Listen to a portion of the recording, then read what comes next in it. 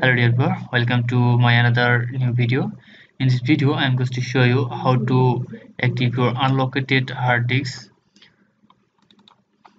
in this video you can see my hard disk in this here to uh, 226 GB and in there 226 GB and there 106 GB and totally 2 to 4 400 500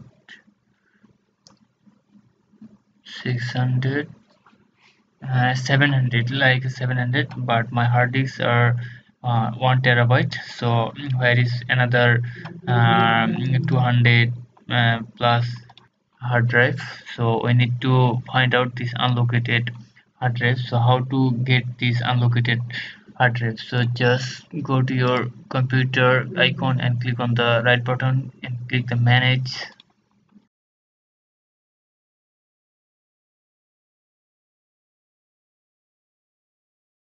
Sorry click on the disk management.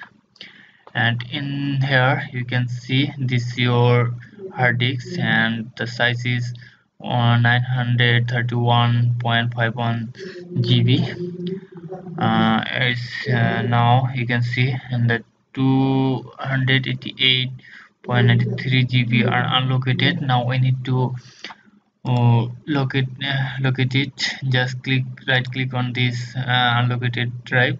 And now click on the new simple volume. And click on the next. And click on the next. And you can choose the drive you can choose the partition type a b c d you can choose anything. Uh, i have uh, it's the default choose ace so i just click on the next. And you can choose the volume. Uh,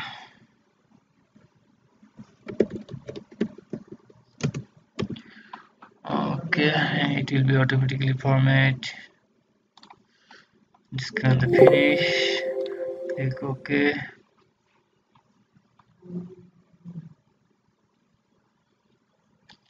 just stay some time. And you can see this are successfully added on my computer drive. And you can see this is the another drive that uh, to uh, 288 GB now we can use this hard drive. So click here. So you can see these hard drive are now located in my computer. So I can use this.